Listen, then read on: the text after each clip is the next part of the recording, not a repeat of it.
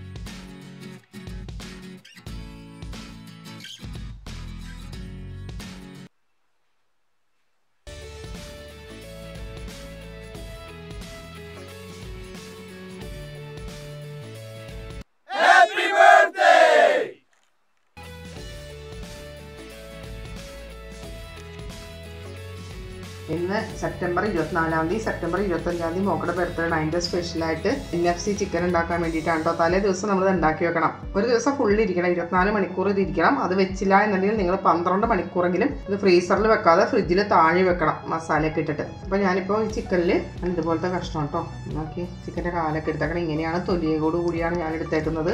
നാരങ്ങ നീര് ഒഴിക്കുകയാണ് ഒരു നാരങ്ങയുടെ പകുതി ഭാഗം.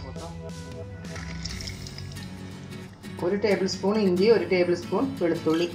രണ്ടും കൂടി പേസ്റ്റ് ആക്കിയതാണ് കേട്ടോ ഞാൻ ഫ്രോസൺ ചെയ്തെടുത്തത് ഒരു ടീസ്പൂൺ നിറച്ച് കുരുമുളക് പൊടി പിന്നെ അര ടീസ്പൂൺ കൂടി കുരുമുളക് പൊടി ഇടുന്നുണ്ട് മൊത്തം. ഒന്നര ടീസ്പൂൺ കുരുമുളക് പൊടിയാണ് ഞാനിതിൽ ഇട്ടേക്കുന്നത്. ഇനി ഇടുന്നത് അര ടീസ്പൂൺ ഒറിഗാനോ ഒന്ന് പൊടിച്ച് ചേർക്കാം. ആവശ്യത്തിന് ഉപ്പ്. ഞാൻ ഒരു ടീസ്പൂൺ വിനാഗിരി ഒഴിച്ചിട്ടുണ്ട് കേട്ടോ വൈറ്റ് വിനാഗിരി അത് നിങ്ങളോട് പറയാൻ ഞാൻ ആദ്യം മറന്നു പോയിട്ടുണ്ടായിരുന്നു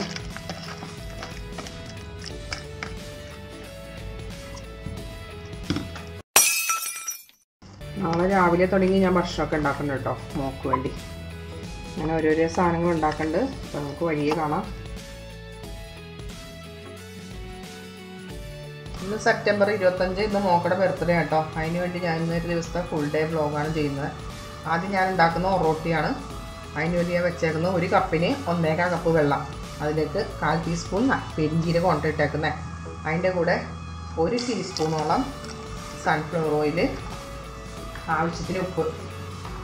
ഇത് വെള്ളം തിളക്കട്ടെ. ഞാൻ ഒരു കപ്പ് തേങ്ങ ചേർത്തിട്ടുണ്ട്. ആദ്യം കുറച്ച് തേങ്ങ ഇട്ടിട്ടുണ്ടായിരുന്നു കേട്ടോ ഇനി അരിപ്പൊടി ഇടാണ് പത്തിരിപ്പൊടിയാണ് കേട്ടോ ഞാൻ എടുത്തേക്കുന്നത്. പത്തിരി ഇടിയപ്പം പൊടിയാണ് എടുത്തേക്കുന്നത്. സാധാരണ പത്തിരിക്ക് കുഴക്കും പോലെ തന്നെ കുഴച്ച് വാട്ടിയെടുക്കാം നന്നായിട്ട്. റൊട്ടി ഉണ്ടാക്കുമ്പോൾ തേങ്ങയൊക്കെ ഇടണം. എന്നാലാണ് കേട്ടോ ടേസ്റ്റ് അപ്പം ഞാനൊരു ബേസനിലോട്ട് മാറ്റിയിട്ടുണ്ട് കേട്ടോ ഇത്. ഇത് നന്നായി ഒന്ന് കുഴച്ചെടുക്കാണ്. ചൂടോടുകൂടി തന്നെ കുഴക്കാം. ഞാനു വന്നിട്ടുണ്ടല്ലോ. ഞാനു ഞാനു ആരാ ചോദിച്ചേ? ഞാനു ആരാ ചോദിച്ചേ? ആരാ? ആരാ അത്? മോക്കടെ ബർത്ത്ഡേ എന്ന് പറഞ്ഞേ. മോളെ. ആ. മോളെ. മോളേന്ന് വിളിക്ക്. ചിച്ചാനല്ല പറഞ്ഞേ. മോക്കടെ ബർത്ത്ഡേ പറയും. മോക്കൊരു ഹാപ്പി ബർത്ത്ഡേ പറഞ്ഞേ. മോൾ ചോദിച്ചിട്ട് കാര്യമില്ല. ഹാപ്പി ബർത്ത്ഡേ പയ്യേ ആരുടെ മോളാ? ഉമ്മയുടെ മോളാണോ? ഞാനുവിന്റെ മോളാണത്. ഞാനുവേ. മോളെന്തിയേ? കൊച്ചതിന് ശേഷം ഞാൻ ഇതുപോലെ ഉണ്ടിട്ട് വെച്ചേക്കാണ്. അതിന് കൈയിട. ഉള്ളിൽ വെച്ചിട്ട് നന്നായി ഉരുട്ടിയെടുക്കാം. ഉണ്ടോ? ഞാൻ പൊടി മുക്കാതെ കേട്ടോ പരുത്തിയെടുക്കുന്നേ. ഞാൻ ചട്ടി വെച്ചിട്ടുണ്ട് അടുപ്പത്ത്. അപ്പോഴത്തേക്ക് ഇതൊന്ന് പരുത്തിയെടുക്കട്ടെ. പ്രസ്സിൽ വെച്ചിട്ടാണ് കേട്ടോ ഞാൻ പ്രസ് ചെയ്ത് പ്രസ് ചെയ്തെടുക്കുന്നത് അതല്ല നിങ്ങൾക്ക് പരുത്തിയെടുക്കണമെങ്കിൽ എടുക്കാം. പത്തിരിയിലും കനത്തിലാണ് കേട്ടോ നമ്മളിത് പരത്തിയെടുക്കുന്നത് പത്തിരി പോലെ ഒരുപാട് നൈസായിട്ട് അങ്ങ് പരത്തണ്ട. അപ്പോൾ ഞാനിത് പൊടിയിലൊന്നും മുക്കള്ള നല്ല ചട്ടി ചൂടായിട്ടുണ്ട്. ഞാനിപ്പോൾ ഇടാം കേട്ടോ രണ്ട് പ്രാവശ്യം ഇപ്പോൾ ഞാൻ മറിച്ചിട്ടു കേട്ടോ ഇതേ മൂന്നാമത് മറിച്ചിടാണ്. ഇത് കഴിഞ്ഞ് നമുക്ക് എടുക്കാം. ഇപ്പം എല്ലാം ഞാൻ എടുക്കാം കേട്ടോ ഇനി അടുത്തത് നമുക്കിടാം. അപ്പം ഇനി ഇത് ചൂർണത് ഞാൻ കാണിക്കണല്ലോ കേട്ടോ പൊറോട്ടിയുടെ കൂടെ എടുക്കുന്നത് ബീഫ് കറിയാണ് കേട്ടോ ഞാൻ എടുക്കുന്നത് കുറച്ച് ബീഫ് എടുത്തിട്ടുള്ളൂ. അതിന്റെ കൂടെ മഞ്ഞപ്പൊടി ഉപ്പിട്ടിട്ട് ഞാൻ വേവിക്കുകയാണ് കാരണം ഉച്ചയ്ക്ക് ഞങ്ങൾക്ക് മട്ടൺ ഉണ്ട് പിന്നെ ചിക്കനൊക്കെ ഉണ്ട്. അപ്പോൾ ഇതൊക്കെ വേസ്റ്റ് ആവും കുറേ എടുത്തിട്ടുണ്ടെങ്കിൽ. ആദ്യം നമുക്കിതൊന്ന് കുക്കറിലിട്ട് വേവിക്കാം. ബീഫിന്റെ ഗ്രേവി ഞാൻ ഇവിടെ കേട്ടോ റെഡിയാക്കുന്ന അതിന് വേണ്ടി പാൻ വെച്ചിട്ടുണ്ട്. ഇപ്പോൾ ഞാൻ സവാള സാധനങ്ങളൊക്കെ ഇട്ട് കൊടുക്കുകയാണ് ഇതിൽ വെളിച്ചെണ്ണ കേട്ടോ ഞാൻ ഒഴിച്ചേക്കുന്നത്. ബീഫിനൊക്കെ വെളിച്ചെണ്ണ തന്നെ എടുക്കാം ഒരു വലിയ സവാള. വെളുത്തുള്ളി ഇഞ്ചിയും ചതച്ചതാണ് കേട്ടോ അത് ഒരു ടേബിൾ സ്പൂൺ കോസനല്ല ഞാൻ ഇട്ടേക്കുന്നത് കേട്ടോ ഇഞ്ചിയും വെള്ളുള്ളി ഇട്ടതിന് ശേഷം ഞാൻ ഇട്ടേക്കുന്നത് വേപ്പിലയും പച്ചമുളകുമാണ്. അതിന്റെ കൂടെ ഒരു ചെറിയ തക്കാളിയും കൂടി ഇടണം. ഇത് ഒരുപാട് അങ്ങ് വഴറ്റണ്ട കേട്ടോ ഇനി ഞാൻ ചേർക്കുന്ന പൊടിയാണ്. ബീഫിനുള്ള പൊടി ചേർക്കാണ് മുക്കാൽ ടേബിൾ സ്പൂൺ മല്ലിപ്പൊടി ഒന്നേകാൽ ടേബിൾ സ്പൂൺ മുളക് പൊടി ഒരു ടേബിൾ സ്പൂൺ ഗരം മസാലപ്പൊടി അര ടേബിൾ സ്പൂൺ കുരുമുളക് പൊടി.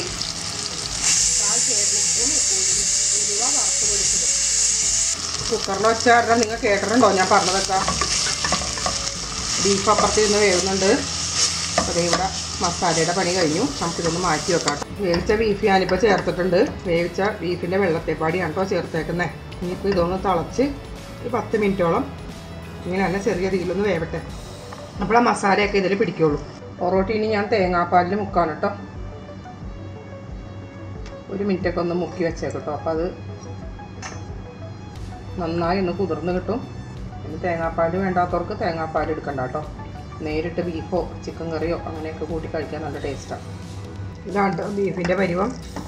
ബീഫിൽ നിന്ന് വന്ന വെള്ളമെല്ലാം നമ്മൾ ബീഫ് വേവിക്കാൻ വെച്ച വെള്ളമെല്ലാം പറ്റിച്ചെടുത്തു ഇത് മതി. തേങ്ങാപ്പാലുള്ളതും കൊണ്ട് ഇങ്ങനെയാട്ടോ ഞാൻ ഈ കറി എടുത്തേക്കുന്നത് നോക്കടെ ബർത്ത്ഡേയുടെ ആദ്യത്തെ ഫുഡ് റെഡി ആയിട്ടോ പൊറോട്ടി ബീഫ്.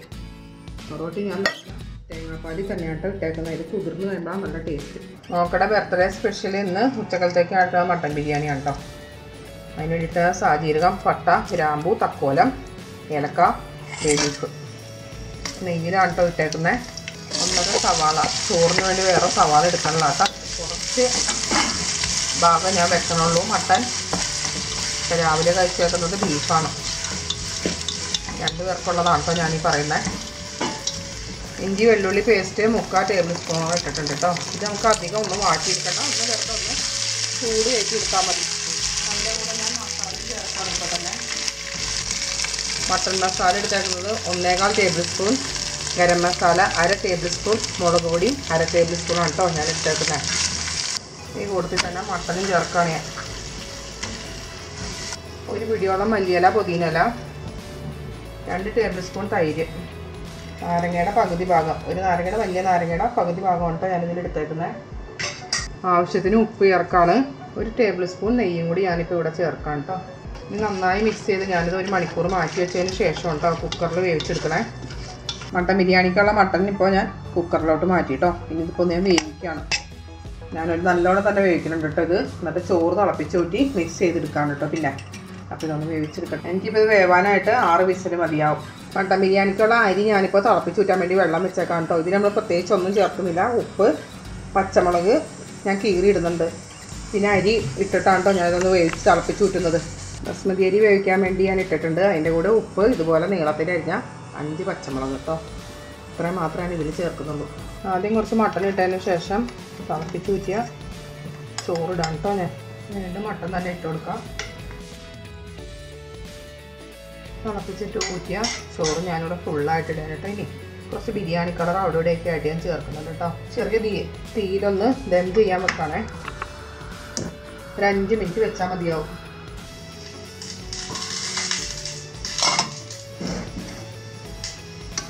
മട്ടൻ ബിരിയാണി ഇപ്പം ദം ചെയ്ത് കഴിഞ്ഞിട്ടുണ്ട്. നമുക്കിനി ഒന്ന് മിക്സ് ചെയ്തെടുക്കാം കേട്ടോ. ഇതാണ് കേട്ടോ മോക്കട ഉച്ചക്കലത്തെ സ്പെഷ്യൽ ഈ ബിരിയാണി ഞാൻ മംഗളത്തിലാണ് കേട്ടോ വിളമ്പണേ. മട്ടൻ ബിരിയാണി അങ്ങനെ റെഡിയായി. അതിന്റെ കൂടെ പപ്പടം ഒരു കച്ചമ്പർ മാത്രം എടുത്തിട്ടുള്ളൂ കേട്ടോ ഞാൻ ഇന്ന് മോക്കളുടെ ബർത്ത്ഡേ ആയിട്ടൊരു സേമിയ പായസം ഉണ്ടാക്കുന്നുണ്ട്. അതിന് വേണ്ടി ഒന്നേകാൽ ടേബിൾ സ്പൂൺ നെയ്യാണ് എടുത്തേക്കുന്നത് പക്ഷേ അതിന് ഞാൻ അണ്ടിപ്പരിപ്പും മുന്തിരി ഒന്ന് വറുത്തെടുക്കണം ആദ്യം. ഞാൻ സേമിയ ഒന്ന് വറുത്തെടുക്കാം കേട്ടോ ഒരുപാട് കട്ടി പറഞ്ഞ സേമിയ ഇത്. ഒരു കപ്പ് സേമിയാണ് ഞാൻ എടുത്തേക്കുന്നത്. തിളപ്പിച്ചാറ്റിയ പാലിപ്പം രണ്ട് കപ്പ് ഒഴിച്ചിട്ടുണ്ട് കേട്ടോ ഞാനിതിൽ ഇനി ഒന്ന് തിളക്കട്ടെ. ഇനിയിപ്പോൾ ഇതിന് രണ്ടര ടേബിൾ സ്പൂൺ പഞ്ചസാര ചേർക്കണം. ഈ പഞ്ചസാരയിൽ തന്നെ നാല് ഏലക്ക പൊടിച്ചെടുത്തതാണ് കേട്ടോ ഈ സേമിയ പായസം പെട്ടെന്നാവും കേട്ടോ ഈ സേമിയത്തിന് അധികം വേവൊന്നുമില്ല. അതേ മോക്കടെ പരത്തിനുള്ള സേമിയ പായസം റെഡിയായി കഴിഞ്ഞു കേട്ടോ ഇനിയിപ്പോൾ ഞാൻ ആദ്യം വറുത്ത മുന്തിരി അണ്ടിപ്പരിപ്പും ചേർക്കാണ്. ഒന്ന് ചെറുതായി ചൂടാറണം. നല്ല ചൂടിൽ സേമിയ പായസം കുടിക്കാൻ അതിന്റെ ടേസ്റ്റ് ഒന്നും ഉണ്ടാവില്ല.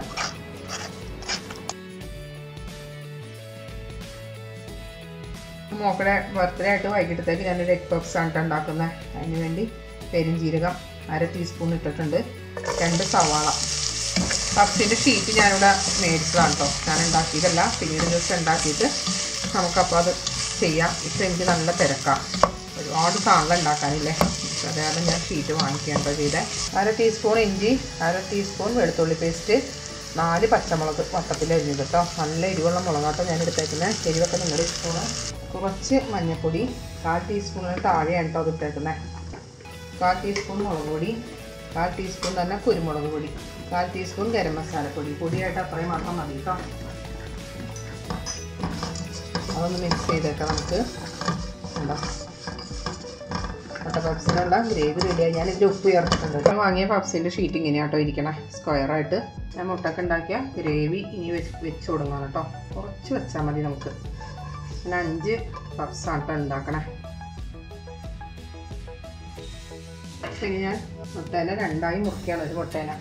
രണ്ടായി മുറിച്ചതിന് ശേഷം ഇങ്ങനെ വെച്ച് കൊടുക്കാം. ഞാനിതിനെ ഇങ്ങനെയാട്ടോ മടുക്കിയെടുക്കണേ.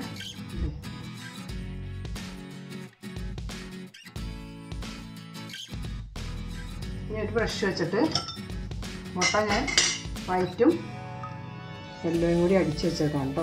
അതൊന്ന് തൂട്ട് കൊടുക്കാം. ഞാനിത് ഓവനിലാണ് കേട്ടോ വെക്കണേ. നൂറ്റി ഇരുപത് ഡിഗ്രിയിൽ മുപ്പത് മിനിറ്റാണ് ഞാൻ വെക്കുന്നത്. അത് ഇരുപത്തഞ്ച് മിനിറ്റ് ഒക്കെ ആകുമ്പോഴത്തേക്ക് നിങ്ങൾ നോക്കണം കേട്ടോ. അത് ശരിയാവാന്നുണ്ടെങ്കിൽ അപ്പം എടുക്കാം. അതല്ലെങ്കിൽ ഒരു അഞ്ച് മിനിറ്റ് കൂടി കൂട്ടി വെക്കാം. ഞാൻ പ്രീ ഹീറ്റ് ചെയ്യുന്നത് പത്ത് മിനിറ്റ് ആണ് കേട്ടോ നൂറ്റി ഇരുപത് ഡിഗ്രിയിൽ. ഇതിപ്പോൾ ഓവനിൽ വെക്കണേ കാണിക്കണ്ടല്ലോ. ഞാനിപ്പോൾ ഇനി ഓവനിൽ വെച്ചതിന് ശേഷം നമുക്ക് കാണാം കേട്ടോ.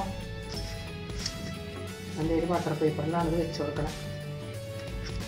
മോക്കടെ ബർത്ത്ഡേ ഇടാൻ വൈകിട്ടത്തെ പപ്സും റെഡിയായിട്ട് ഇവിടെ ഞാൻ ചോക്ലേറ്റ് കേക്കാണ് കേട്ടോ മോക്കടെ ബർത്ത്ഡേ ആയിട്ട് ഉണ്ടാക്കുന്നത് അതിന് വേണ്ടി ഒരു കപ്പ് മൈദയാണ് എടുത്തേക്കുന്നത് അതിന്റെ കൂടെ ഒരു ടീസ്പൂൺ ബേക്കിംഗ് പൗഡർ എടുക്കുന്നുണ്ട്.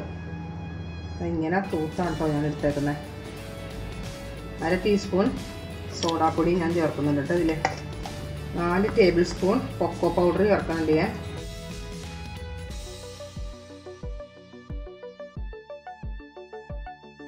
നന്നായി കൈ കൊണ്ടൊന്ന് മിക്സ് ചെയ്തതിന് ശേഷം ഒന്ന് അരിച്ചെടുക്കണം. മൂന്നോ നാലോ പ്രാവശ്യം അരിച്ചോട്ടോ എത്രത്തോളം നമ്മൾ അരിക്കണം. അത്ര സോഫ്റ്റ് ആയിട്ട് വരും കേക്ക് ബർത്ത്ഡേ കേക്ക് ഉണ്ടാക്കാൻ വേണ്ടി മുട്ടയുടെ വെള്ളം മൂന്ന് മുട്ടയുടെ വെള്ളയാണ് കേട്ടോ ഞാൻ എടുത്തേക്കുന്നത്. അതിൽ കുറച്ച് മഞ്ഞൾ ഇട്ടിട്ടുണ്ട് അതൊന്ന് നമുക്ക് അടിച്ചെടുക്കാം. ഒരു ടീസ്പൂൺ വാനില എസൻസ് ഒഴിക്കുകയാണ്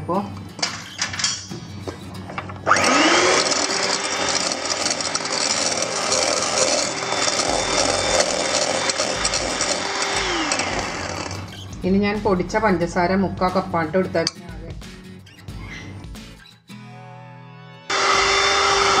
ഇനി അരക്കപ്പ് ഓയിൽ ചേർക്കാണ്. ഞാൻ എടുത്തേക്കുന്നത് സൺഫ്ലവർ ഓയിലാണ് കേട്ടോ അരക്കപ്പ് ഓയിലാണ് കേട്ടോ ഞാൻ ഇപ്പം ചേർത്തേക്കുന്നത്. അതൊന്ന് അടിച്ചെടുക്കാം. മുട്ടയുടെ മഞ്ഞ ഞാൻ വേറെയാണ് കേട്ടോ ബീറ്റ് ചെയ്തെടുക്കണേ.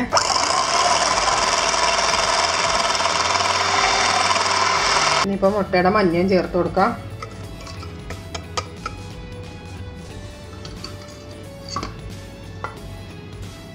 രണ്ടോ മൂന്നോ പ്രാവശ്യമായിട്ട് കുറച്ച് കുറച്ച് പൊടി ചേർത്ത് കൊടുക്കാം മൈദയും കൊക്കോ പൗഡറും സോഡാപ്പൊടിയും പാക്കിംഗ് പൗഡറൊക്കെ മിക്സ് ചെയ്ത് അരിച്ച് വെച്ചേക്കണം കേട്ടോ.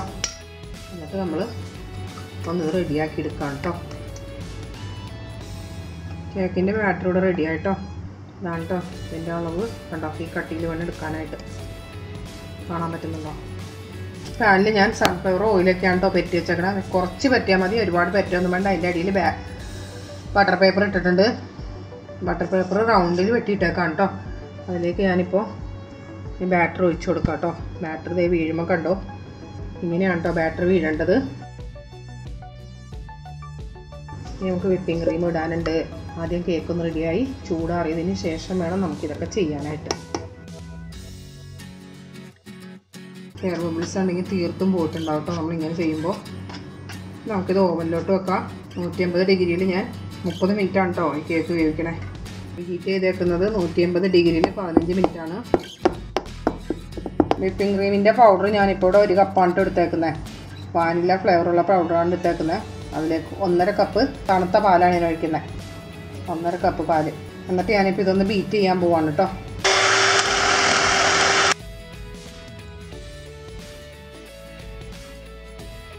വിപ്പിംഗ് ക്രീം ഞാൻ നല്ല സൂപ്പറായിട്ട് അടിച്ചെടുത്തിട്ടുണ്ട് കേട്ടോ കണ്ടോ? നമ്മളിത് കമത്തിയാൽ അത് പോവില്ല കണ്ടോ? എൻ എഫ് സി ചിക്കൻ പൊരിക്കാനുള്ള ഗ്രേവി പരട്ടി വെച്ചത് ഞാനിപ്പോൾ ഫ്രിഡ്ജിൽ നിന്ന് എടുത്ത് മാറ്റി വെച്ചു കേട്ടോ ഇപ്പോൾ രണ്ട് മണിക്കൂർ കഴിഞ്ഞിട്ടുണ്ട് ഫ്രിഡ്ജിൽ നിന്ന് ഇറക്കി വെച്ചിട്ട്. മൊത്തം ഇപ്പോൾ ഇരുപത്തിനാല് മണിക്കൂറായിട്ടുണ്ട് കേട്ടോ എനിക്ക്. ഒരു ദിവസം ഫുള്ള് തന്നെ വെച്ചിട്ടുണ്ട് ഞാൻ. പിന്നെ ഞാനൊന്ന് ഒരു വെള്ളം ഉണ്ടാവും ഫ്രിഡ്ജിൽ വെച്ച് കഴിയുമ്പോൾ നമുക്ക് ആ വെള്ളം ഒന്ന് ഈ ഊട്ടപ്പാത്രത്തിൽ ഒന്ന് പോയി കിട്ടണം. രണ്ട് കപ്പ് മൈദപ്പൊടിയാണ് ആദ്യം ഞാൻ എടുത്തത്. അതിൽ ഞാൻ കുറച്ച് കളർ ചേർത്തിട്ടുണ്ട്.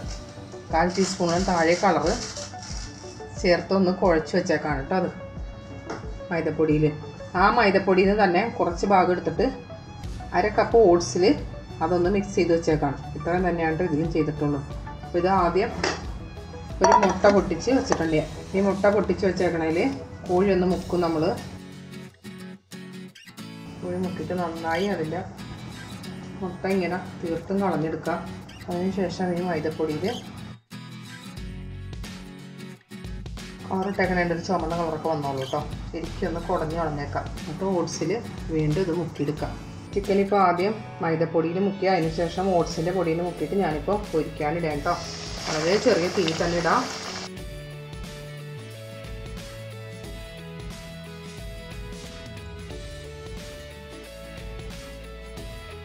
ചോക്ലേറ്റ് കേക്ക് ഇപ്പോൾ റെഡി ആയിട്ടുണ്ട് കേട്ടോ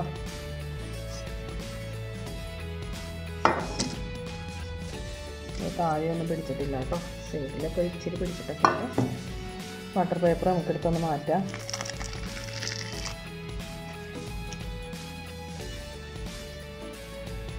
നല്ല സ്പോഞ്ച് കേട്ടോ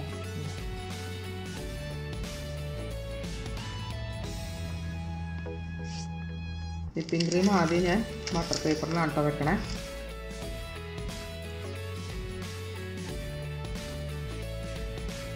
ചോക്ലേറ്റ് കേക്ക് മൂന്ന് ലെയറായിട്ടാണ് കേട്ടോ ഞാൻ എടുത്തേക്കുന്നത്. ഇനി അതിന്റെ മുകളിലും വിപ്പിംഗ് ക്രീം ഇട്ട് കൊടുക്കണം.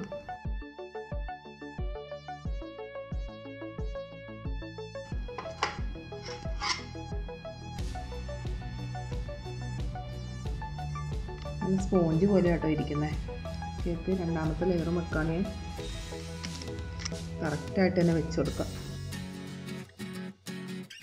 മൂന്നാമത്തെ ലെയർ ഞാനിപ്പോൾ വെക്കാണ്. കറക്റ്റായിട്ട് തന്നെ നോക്കി വെക്ക് കേട്ടോ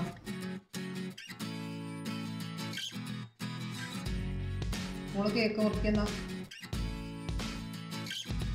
മക്കളുടെ ബർത്ത്ഡേ കേക്ക് മുറിക്കാം കേട്ടോ ചോക്ലേറ്റിന്റെ